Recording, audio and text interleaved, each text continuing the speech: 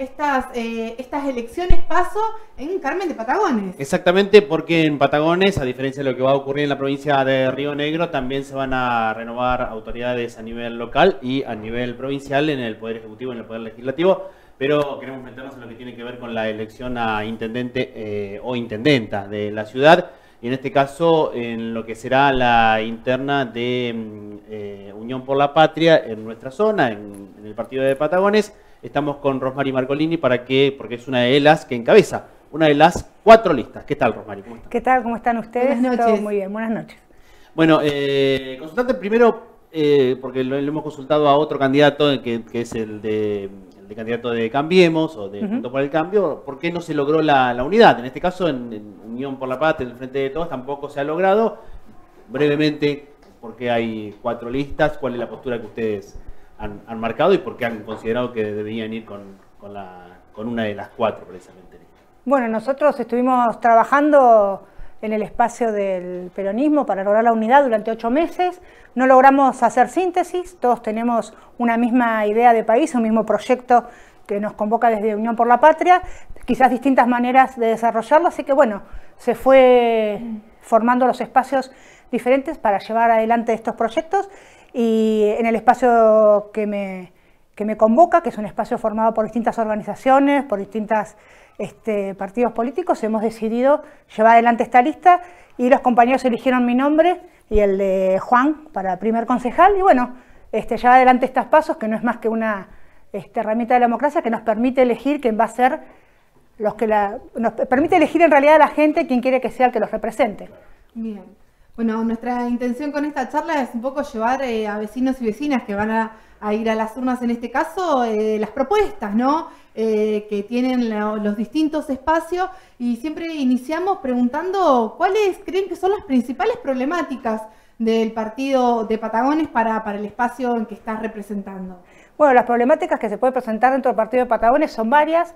Nosotros siempre decimos que proponemos una forma de trabajo nuestra forma de trabajo es, eh, como suelo aclarar, es poder gestionar fuera del escritorio, ¿sí? poder trabajar con la gente y para la gente. Eh, nuestra idea es poder llevar eh, las soluciones y escuchar los problemas de la gente. Yo siempre digo que es, muy importante poder escuchar a la comunidad, que es la que sabe los problemas que tiene, poder llegar a ellas, poder saber a través de, sus, de las entidades que los representan, como pueden ser las comisiones, las iglesias, las escuelas, eh, los centros de salud, eh, poder referenciarnos con esa gente que representa cada grupo del partido de la localidad de Patagones mm. y poder saber cuáles son sus problemas. En general la gente que sabe cuáles son sus problemas también intuye cuáles son las soluciones, poder entre todos eh, llegar a esa solución y como gestión lograr que esas soluciones se lleven a cabo, ya sea a nivel local, gestionando con nación o gestionando con provincia. Nosotros nos comprometemos a un trabajo con la comunidad y para la comunidad, donde la comunidad sea partícipe activa de, esta, de este desarrollo de gestión. Por otro lado, eh, los problemas principales eh, que se mm, manifiesta la gente, habiendo recorrido los barrios, andando con la gente en, la, en sus casas, pudiendo conversar con ellos, siempre eh, sale el tema de salud, eh, que es uno de los que precisamente a mí más me convoca porque, bueno, mm. este, soy médica, mi especialidad es medicina general, integral y comunitaria, me formé en salud comunitaria, en salud colectiva y pienso eh, toda la resolución de, los, de, los, de, las situaciones o de los conflictos en forma colectiva. ¿sí? Creo que la salud es un punto muy importante, hay un quiebre muy grande, hay un deterioro muy grande en lo que es la salud pública de Patagones que hace que eh, muchas personas no puedan eh, tener el derecho a ese bienestar o a esa atención de salud. Eh, nosotros eh, lo hemos estudiado, sabemos cuál es el, problema principal. Queremos que en el fortalecimiento de la atención primaria es uno de los ejes más importantes para llevar adelante la solución del problema de salud. Queremos que el 99% de los problemas de salud se resuelven dentro del área de atención primaria, esto quiere decir dentro de los centros periféricos de atención, así que es muy importante fortalecer el área de atención primaria, eh, convocar a los médicos y a los profesionales para que pertenezcan y estén dentro de esos centros de salud, se asocien con su comunidad, asimismo los enfermeros o cualquiera de los profesionales de salud que trabajen en los centros y poder así llegar a la comunidad y que la comunidad tenga un acceso mucho más rápido, mucho más eh, sencillo a la atención de salud. Esto va a hacer también que uno de los problemas más grandes que tiene el sistema de salud, que es la asignación de turnos, sea mucho más ágil y eficiente. Eh, y por otro lado, eh, intentar de esa manera descomprimir todo lo que son los servidores del hospital, que en este momento están muy saturados, y permitir que tengan una atención también más adecuada hacia lo que es la urgencia. Por otro lado, mm. también sabemos que hay una falta de profesionales, que eso es una realidad que mm. atraviesa el partido de Patagones y que atraviesa a todo el país y en el mundo en general hay una este, caída de profesionales, sobre todo las especialidades generales. Nosotros sabemos que hay que generar todas las medidas necesarias para atraer a los profesionales hacia el partido de Patagones y eh, lograr que se queden y que se desarrollen dentro eh, del partido de Patagones. Por otro lado, también sabemos que el interior tiene grandes dificultades en lo que es la atención de la salud y en esto de fortalecer la atención primaria, lograr fortalecer la atención primaria del interior es fundamental, porque ahí van a resolver, como decía, el 95% probablemente de la consulta y después generar toda una situación que permita la derivación más eficiente y ágil hacia los centros de salud más complejos, como puede ser la cabecera del partido, que es Patagones, o si fuera necesario, nuestro hospital provincial, que es el Hospital Pena. Y en cuanto, en cuanto a obra pública, ¿cuál creen que es la obra pública que le está haciendo falta a Patagones, a Carmen de Patagones o al interior del distrito? En relación a obra pública, la verdad que en Patagones se ha hecho mucho. ¿sí? Eh, eh, sobre todo lo que tiene que ver con los aspectos que ha venido de la provincia de Buenos Aires, con la gobernación de Axel Kisilov. Hemos tenido mucha obra en lo que tiene que ver con las escuelas, en lo que tiene que ver con los edificios de instituciones, como puede ser el IOMA, eh, también se han, em, se han hecho muchas refacciones y obras en, también en escuelas, en instituciones públicas. Creo que hay que eh, poder, eh, en el interior habría que, el interior tiene muy buena infraestructura, por ejemplo, en todo lo que tiene que ver con salud, pero no tiene recursos humanos, que es muy importante, y habría que estar un poco más en, todos los, en cada uno de los de las localidades del interior para saber cuáles son las necesidades y qué se necesita realmente en relación a la infraestructura y a lo que podamos hacer y gestionar también con la provincia de Buenos Aires. Es eh, muy importante, ¿no? El vínculo, digo, con la provincia de Buenos Aires. De hecho, desde el inicio de la gestión de Axel Kicillof se han reactivado muchas obras que habían quedado eh, paralizadas. Sí, la verdad que la gobernación de, de Axel Kicillof ha sido una gobernación que ha priorizado toda la provincia de Buenos Aires sin importar el color partidario de las intendencias, eso es muy importante, pero eh, poder llegar a, ser, a, tener, a estar en la gestión ejecutiva y tener un gobierno de la provincia como Axel Kisilov, eh, con el mismo proyecto de país, con el mismo proyecto de provincia, con los mismos proyectos en las intendencias, es muy bueno porque nos permite una eficiente y una ágil gestión de recursos. Y por otro lado, es impresionante toda la obra pública de asfaltos, de cordón cunetas, de cloacas, de edificios de escuelas, eh, que, se ha traído desde la provincia de Buenos Aires al partido de Patagones. Realmente ha sido muy interesante la gestión de Axel Kisilov. Recién hablabas de la problemática de la preocupación y, de los reclamos que hay con el tema de salud. Otra de las cuestiones que, preocupan también a vecinos y vecinas y que se manifiesta tiene que ver con el transporte público.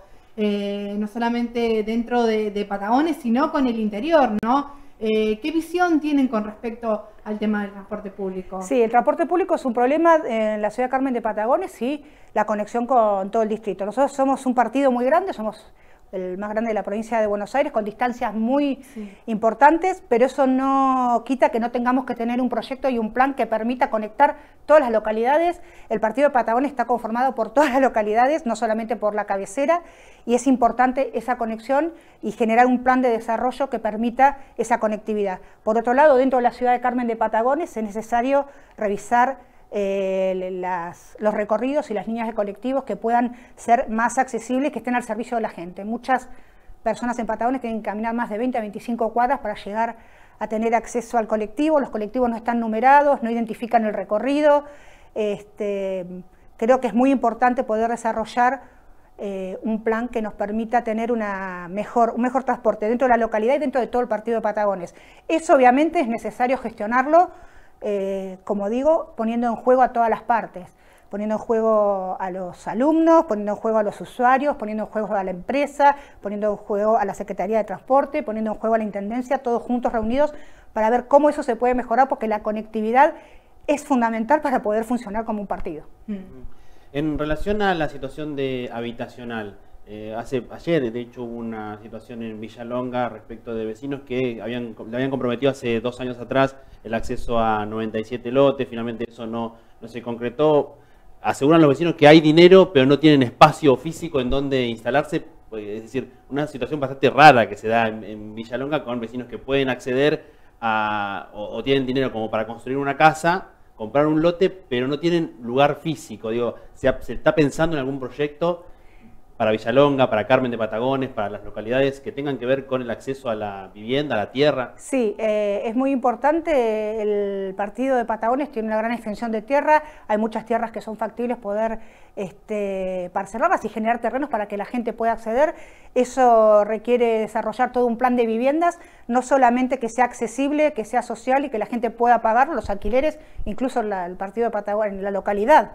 Eh, la cabecera del partido de Patagones son carísimos, la gente le cuesta acceder, y no solamente generar eh, las tierras, el plan de vivienda y la posibilidad que lo puedan pagar, sino que eso sea transparente y se sepa eh, cómo se adjudica, quién se adjudica, cuánto sale, cómo son los loteos, que los, que los sorteos sean transparentes, sean públicos y tenga toda esa comunicación hacia la comunidad que es fundamental también.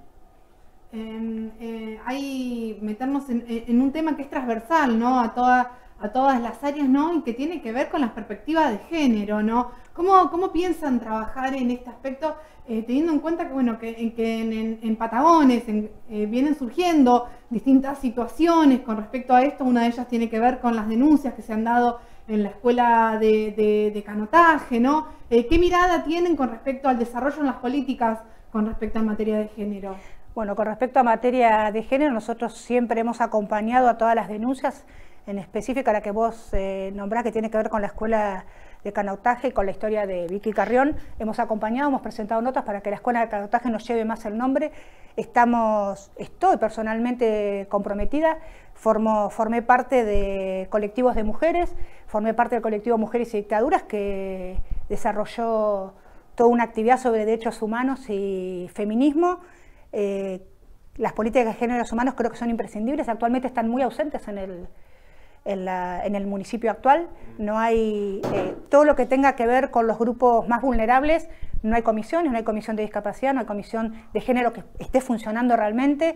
Eh, la violencia de género es algo estructural, es cultural, es un, proveniente de una sociedad machista y patriarcal que este, si bien golpea a todo el país en Carmen de Patagones, también está, eh, a veces se invisibiliza mucho, creo que eh, la, Comisaría de la Mujer permite la denuncia, pero requerimos una fiscalía que pueda estar en Patagones y que actúe en forma realmente concreta en relación a estas denuncias, porque quedan en denuncias donde después la mujer, la propuesta es que se vaya hasta Bahía Blanca hasta que el individuo que la violentó este, se haga algo con él o no. Eh, creo que falta mucho trabajo, hay que hacerlo y me parece que concientizar a la gente, la educación, poner, eh, tener una fiscalía que funcione dentro de Patagones y que la Comisaría de la Mujer también tenga toda una conectividad con el resto de las instituciones. Y tener una institución como alguna vez hubo que contenga a esas mujeres cuando tengan que irse de sus casas es fundamental. Mm.